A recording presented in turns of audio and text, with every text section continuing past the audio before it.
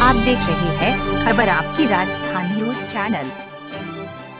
झालावाड़ ज़िले के सुनेल क्षेत्र के झालरा पाटन मार्ग पर भटखेड़ा के समीप सोमवार रात को पुलिस ने ढाबे पर देह व्यापार करते दो महिलाओं, तीन पुरुष सहित पाँच लोगों को देह व्यापार करते हुए पिटाई में गिरफ़्तार किया है। थानाधिकारी जितेंद्र सिंह शेखावत ने बताया कि मुखबिर की सूचना मिली थी कि झालरा पाटन रोड पर भटखेड़ी के समीप स्थित रोटी के ढाबे पर ढाबा मालिक रामनिवास ढाबे के अलावा वेश्यावृत्ति का भी धंधा चला रहा है, जिस पर पुलिस ने अपने बोगस ग्राहक बनाकर ढाबे के मालिक रामनिवास से संपर्क किया तो उसने एक सौ रूपए ऐसी लेकर 200 तक में 25 से 26 साल की दो महिलाओं को उपलब्ध करा दिया। इस पर पुलिस ने अपने प्लान व जाल के मुताबिक पुलिस को इशारा कर इन कथित रैकेट का छापा मारकर भांडा फोड़ कर दिया और दो महिला सहित कथित रैकेट में शामिल तीन पुरुषों को भी गिरफ़्तार कर आगे की कार्यवाही शुरू कर दी। पुलिस ने ढाबा मालिक रामनिवास नागर, जसवंत, विनोद, महिला अनीता बाई कालीबाई को गिरफ़्तार किया है।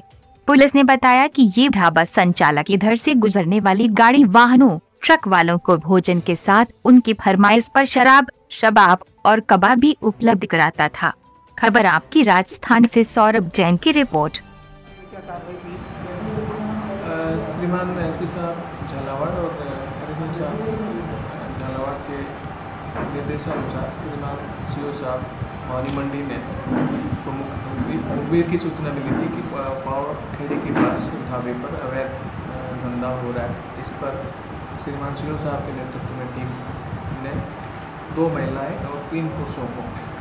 अवैध धंधा करते हुए पकड़ा है गिरफ़्तार किया इस टीम में कितने सदस्य टीम में सी साहब के अलावा थाने की जो टीम थी पाँच छः सदस्य